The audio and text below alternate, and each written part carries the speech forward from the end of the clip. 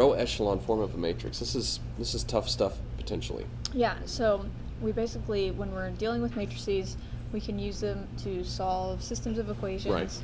And uh, the more variables you have, the easier it is to do it this way versus Right. elimination or substitution. You got x and y only. Elimination substitution is not too bad. That's the way to go. You get x, y, z or w, x, y, z, and it gets very challenging. Right.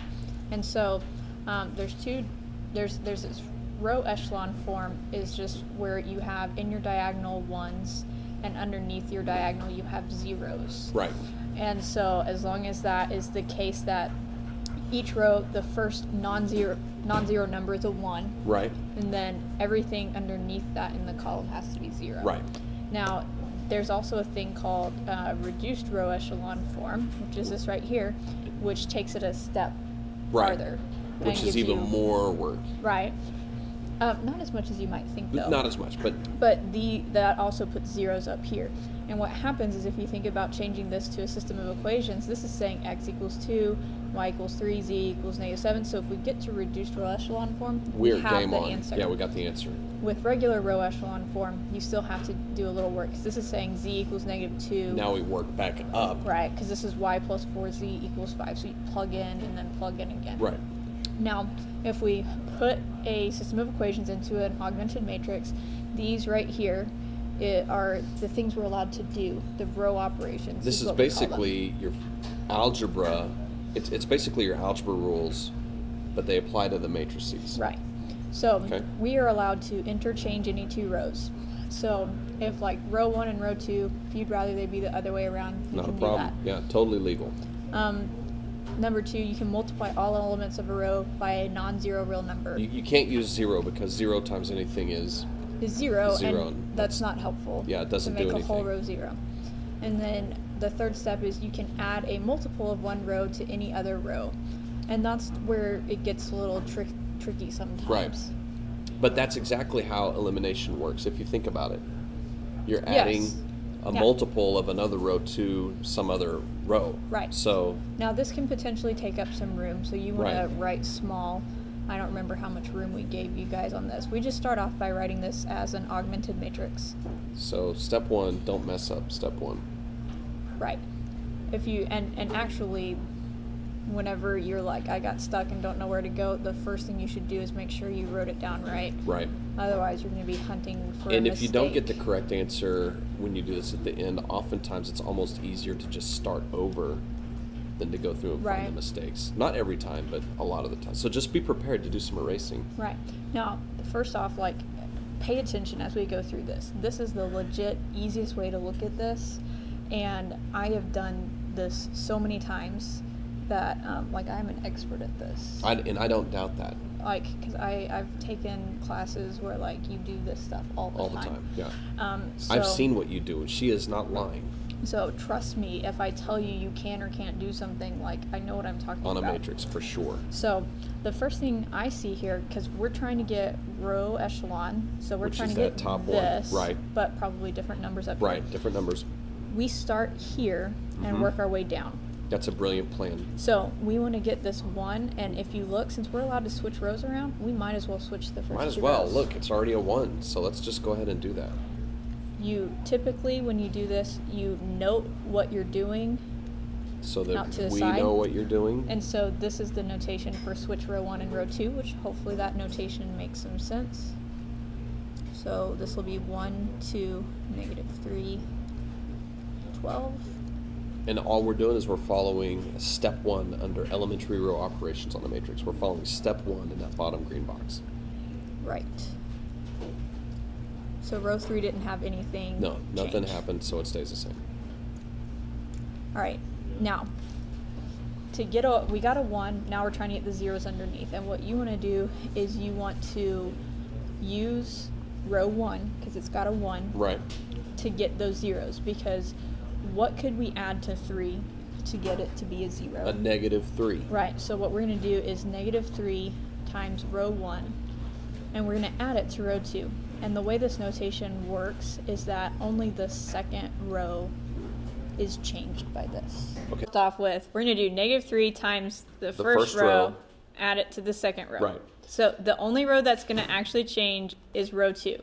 So you can go ahead and write what row one is. And you can go ahead and write what row three is because we're not messing with that guy either. Right. All we're changing is row two.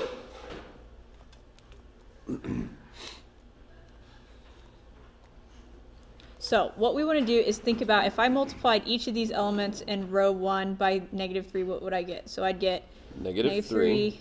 negative six, nine, and negative 36. Don't forget those guys on the other side of the augmented matrix. You'll, Right. you'll forget about them, and that's one of the easiest mistakes to, to make. right. So, Now we're going to add these to row two. So negative three plus three is zero. yes. Negative six plus seven is one. Right. Nine plus negative eleven is negative two. Right. Uh, negative thirty-six plus forty-four is eight. Excellent. Okay, now we've got that zero. Now we want to get the zero underneath it. And these two steps you could combine if you wanted to. I'm Right. just doing it separately because, you know, we're walking through this. Right. So let me come down here. If we want this four to be a zero, now we're going to times by negative four Right, times row right. one. So And for this- four, row one, This first column that we're row getting, three. we're just going to keep using row one to do our, our work. And this time, row two doesn't change because we're not messing with it. So we can actually copy down row one and row two.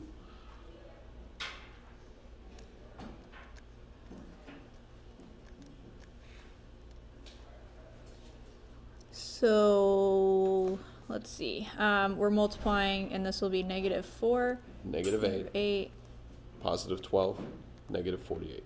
and then adding it to row three. So Right. that's zero. Right? Negative eight plus nine is one. Right?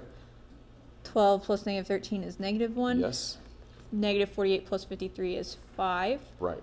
Okay, so we're done with the first column. Now everything we do from here on out is structured so that we don't mess up the first column. That's right. First column's, uh, he's, he's, he's finite. Yeah, so, The, the next goal is to get the one in the middle. yes. And this is for regular or reduced row echelon form. We need to gotta get the one. one first. And actually, we already have it. Yeah. So we don't That's have to do anything. So we're going to go and get the zero at the bottom. So to get that zero uh, down Well, here, You just subtract. All we, we, have to do is subtract subtract. R2 and R3. So we're changing R3. So we're actually doing negative 1 row 2 plus row 3. Okay, and it matters that we think about it that way because you are liable to mess up if you don't. If, yeah, that's correct. We're changing row 3, so we times this row by a negative so that we can add. So row one stays the same. Row two stays the same. So the only row that's actually going to change with this one is the third row. So you can go ahead and fill in the first two guys.